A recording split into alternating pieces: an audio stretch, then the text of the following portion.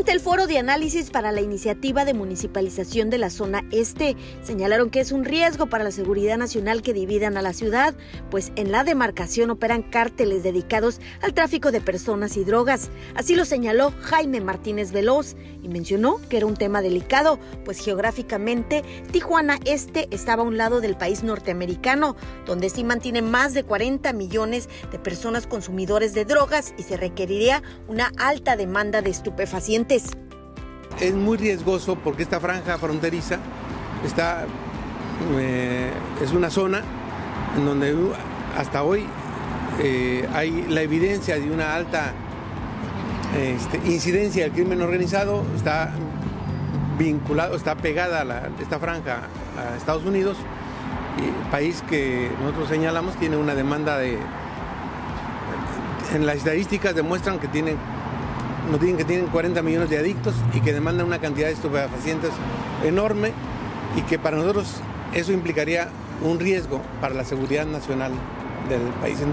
Lamentó que la zona este no tenga la capacidad político y económico, pese a que los tres niveles de gobierno y los congresos son del mismo partido político de Morena y la diputada que presentó la iniciativa, Araceli Geraldo, no ha dado las condiciones y recursos para su desarrollo. Bueno, ellos tienen el gobierno federal, estatal y municipal y el Congreso del Estado y el Congreso de la Unión.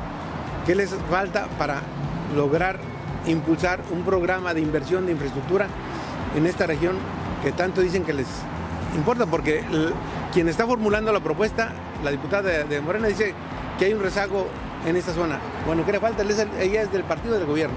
Martínez Veloz dijo que la demarcación no tendría la capacidad para enfrentar los problemas de narcotráfico y tráfico de personas. Y, y bueno, como un municipio incipiente, con poca capacidad económica, pudiera confrontar la, la acción de bandas criminales con mucho más poder económico que el propio ayuntamiento.